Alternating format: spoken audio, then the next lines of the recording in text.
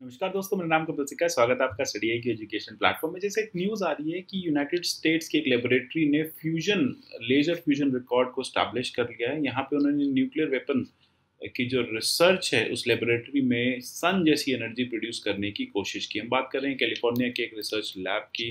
Lawrence Livermore National Laboratory California उसने announce किया है कि जो उनकी नेशनल इग्निशन फैसिलिटी है वहाँ पे उन्होंने एक न्यूक्लियर ब्रेक थ्रू को अचीव किया है न्यूक्लियर फ्यूजन रिसर्च को अचीव किया है।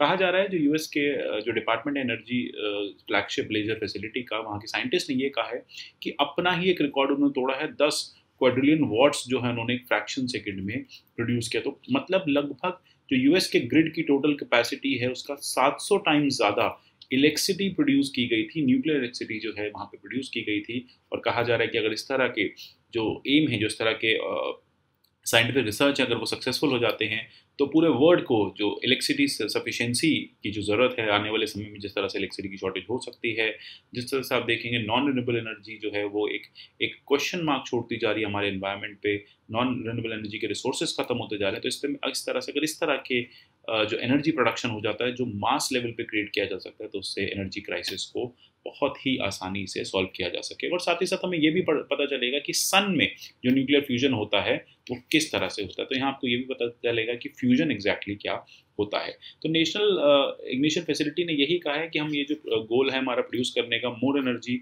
अपने देन वी कंज्यूम तो हम एनर्जी सरप्लस होना चाहते हैं और ये हम एक सस्टेन फ्यूजन रिएक्शन से कर पाएँगे।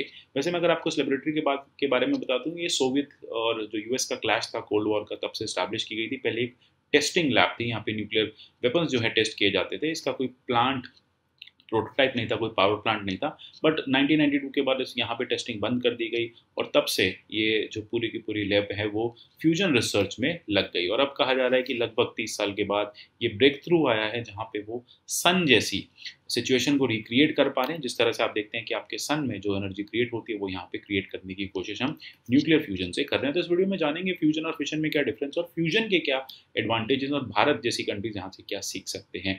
आप स्टडी आईक्यू पर विभिन्न माध्यमों से मुझसे जुड़ सकते हैं। हमारे जितने भी वीडियोज़ आते हैं सबके पी में Telegram channel at the rate Kapil live से डाउनलोड कर सकते हैं। आप मुझे एट द रेट कपिल से का ट्विटर हैंडल पे भी फॉलो कर सकते हैं। सबसे पहले हमने टर्म सुना न्यूक्लियर फ्यूजन तो देखते हैं न्यूक्लियर फ्यूजन होता क्या है।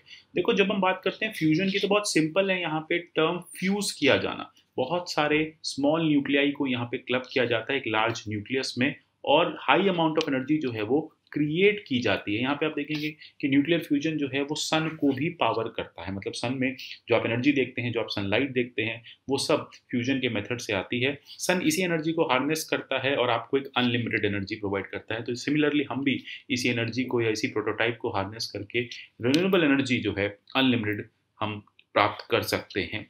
अब ये यूजुअली जो है वो अचीव किया जाता है दो आइसोटोप्स ऑफ़ हाइड्रोजन को कंबाइन करके। तभी हम कहते हैं इसको फ्यूजन है। दो आइसोटोप्स का यहाँ पे फ्यूजन होता है ड्यूटेरियम का और ट्राइटियम का। यहाँ पे आप देख रहे हैं कि इनको फ्यूज़ किया जाता है और एक सिंगल कंपोनेंट यहाँ पे बनता है और उससे एनर्जी जो है वो रिलीज़ होती है।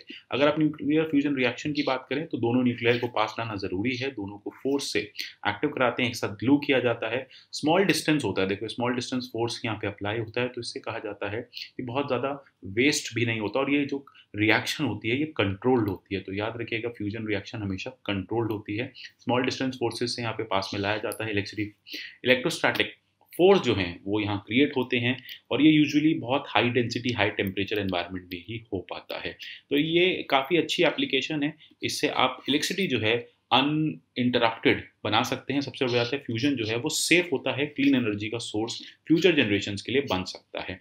ये अगर हम बात करें फिशन के कंपैरिजन काफ़ी बेटर होता है। जैसे मैंने आपको बताया कि फिशन में एक तो वेस्टेज ज़्यादा होती है न्यूक्लियर जो मटेरियल है वो ज़्यादा ज़्यादा उसका रेसिड्यू आता है, साथ ही साथ वो अनकंट्रोल्ड रिएक्शन होती है। ये जो रिएक्शंस होती हैं, ये बहुत ही कंट्रोल्ड फॉर्मेट में की जाती हैं। तो यहाँ पे कंट्रोल रिएक्शन होती है और सबसे बढ़िया बात है कि इस कंट्रोल रिएक्शन के चलते रेडिएशन जो है वो बहुत कम होती है। इनफैक्ट कहा जाता है कि इससे ज़्यादा रेडिएशन तो हम लोग डेली अपनी लाइफ में देख लेते हैं। तो ये बहुत अच्छी चीज़ है कि अगर इस तरह की जो ब्रेक थ्रूज हैं वो सक्सेसफुल हो जाएँ तो पूरे वर्ल्ड को एनर्जी क्राइसिस से बाहर निकाला जा सकता है। साथ ही साथ आप देखेंगे आगे कि क्योंकि डिस्पोजल की बहुत बड़ी प्रॉब्लम नहीं होती, जैसे कि आप देखते हैं फिशन रिएक्शंस में वेपन ग्रेड न्यूक्लियर मटेरियल जो है वो आता है, यहाँ पे ऐसा नहीं होता। तो ये एक अच्छी चीज़ है कि जो न्यूक्लियर वेस्ट है उसकी भी प्रॉब्लम यहाँ पे ख़त्म हो जाएगी।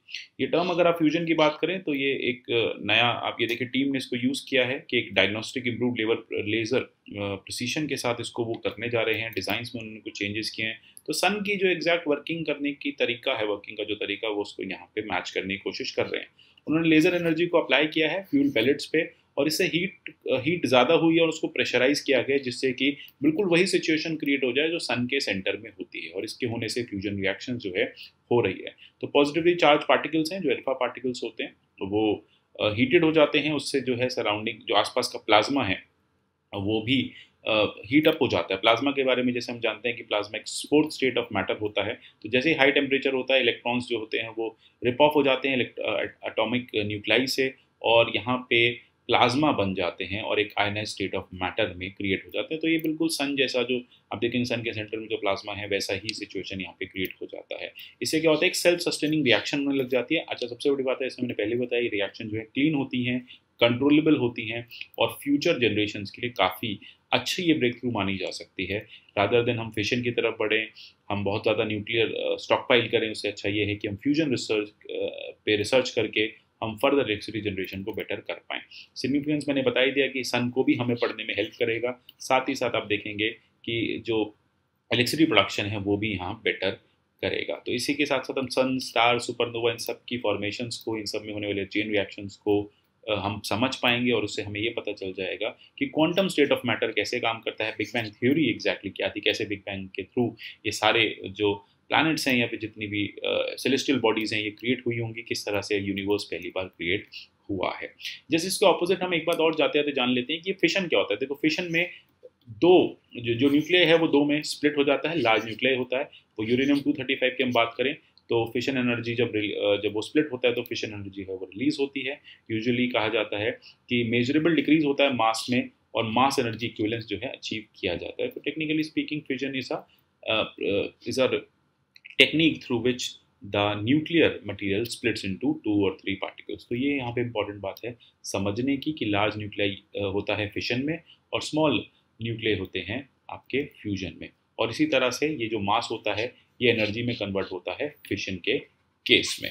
तो ये इंपॉर्टेंट बातें हैं, ये फैक्ट्स जो हैं आपसे एग्ज़ाम्स में पूछे जा सकते हैं प्रिलिम्स में तरह के फैक्ट्स आते हैं तो आशा करता हूँ ये चीज़ें आपको समझ में होंगी। और वेट करते हैं इस इस ब्रेक थ्रू के फर्दर फाइनल रिजल्ट्स का, कहा जा रहा है कि सितंबर में इसके रिजल्ट्स आने लगेंगे, पता चल जाएगा कि एग्जैक्टली exactly जैसा साइंटिस्ट सोच रहे हैं, क्या वैसा करने से हम इलेक्ट्रिसिटी जनरेशन को अच्छा कर पाएँगे। तो आशा करता हूँ टॉपिक आपको समझ में आएगा इस तरह के और टॉपिक्स मिलाता रहूँगा। मिलेंगे अगले सेशन में। तब तक लिए goodbye take care and God bless you all